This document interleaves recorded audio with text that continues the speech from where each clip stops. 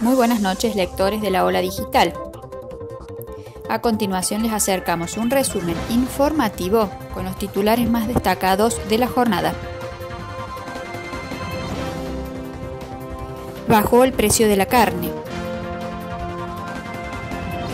Así lo informó el presidente de la Nación, indicando que se debe a la aplicación de restricciones a las exportaciones del sector. Más de 120.000 inmigrantes viven en la provincia de Córdoba. El 86% proviene de países sudamericanos, sobre todo de Bolivia, Perú y Paraguay. Del total de inmigrantes, el 51,6% son mujeres. La legislatura exhibe la obra del artista plástico Luis Wells, Se trata de la primera exposición que se realiza en la sede legislativa. El vicegobernador Manuel Calvo recorrió la muestra junto al artista.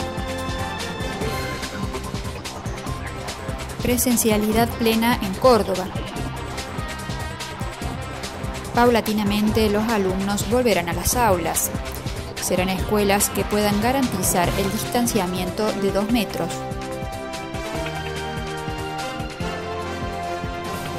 Se confirmó la primera paciente con la variante Delta en Santa Rosa de Calamuchita.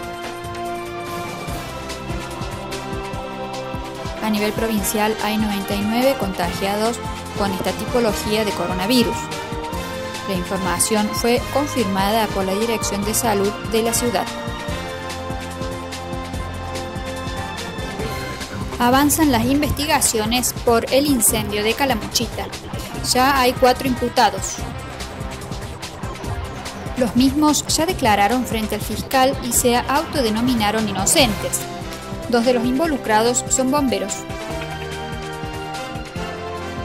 COVID-19. Leve receso de casos en Calamuchita. En el informe semanal se contabilizaron 224 casos nuevos y un solo fallecimiento. Este martes habrá operativo interministerial en Villa Ciudad Parque. En el mismo se podrán realizar trámites y consultas de PAMI, ANSES, el Ministerio de Desarrollo Social y la Secretaría de Agricultura Familiar. Estos fueron los principales titulares de la jornada. Recordá que para mayor información puedes ingresar a www.laola.com.ar.